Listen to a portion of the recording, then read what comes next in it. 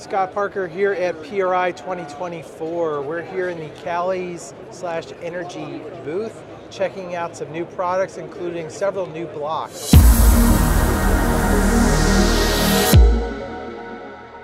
Here with Heath Norton. He's going to explain this new big block Chevy that Energy just came out with. Heath, tell me, uh, tell me a little bit about this block. And obviously, as you can see, it is an iron block, which is a bit of a departure from what uh, Energy normally offers. Absolutely. What we have here is it's a cast iron big block Chevrolet.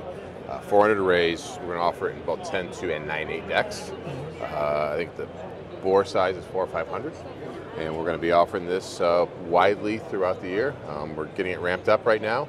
We're going to offer it with both cast uh, caps and billet caps. Why did you guys decide a to make an iron block, and what what was it about this specific timing that you guys decided this is a product we need to launch into the market? No, I, I, we, we just feel a need for it. Um, just you know, just give give our customers options. Options, and, you know, the, so there's more. Um, just make sure everybody has, has enough product to, to get the job done for what they need. I mean, uh, you know, some people may want it, some people may not, but we're going to offer it and make sure people uh, have the ability to get blocks in a timely manner at a, at a competitive price. Speaking of price, uh, do you know yet what your? We're still working on finalizing it all, but it'll be market competitive. Gotcha. And uh, what deck heights will this be available? Uh, initially, it's going to be 9, 8, and 10 2 to start, and 400 race, and that, then we'll start expanding out after that.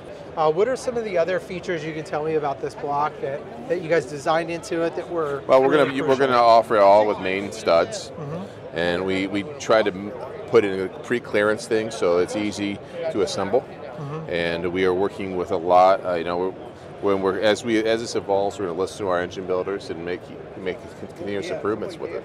Gotcha. Uh, tell me about the oiling system. It's got priority oiling system. It's uh, it, we designed it to be really uh, user friendly for the, uh, racer and engine builder. Gotcha. Now, are you guys going to offer this in uh, just like raw, like still requires machine working, and offer it totally finished, ready for a uh, home builder? Tip, typically, we offer it uh, as a semi-finished state where the engine builder hones the sleeves that match fit the pistons. Gotcha. Um, tell me about the material of the block. How is it cast? Oh, it's a uh, it's a high quality, high strength cast iron. Mm-hmm. Um, it's done on some pretty uh, highbrow tools that we we worked with a wonderful foundry to get done, and um, we're it's we're pretty excited about this project. Very cool. Um, are you going to be offering different options in terms of cam camshaft size?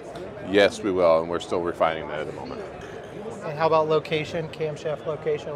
Well, we're gonna. That's uh, that'll be further down the line. We'll offer high different cam heights.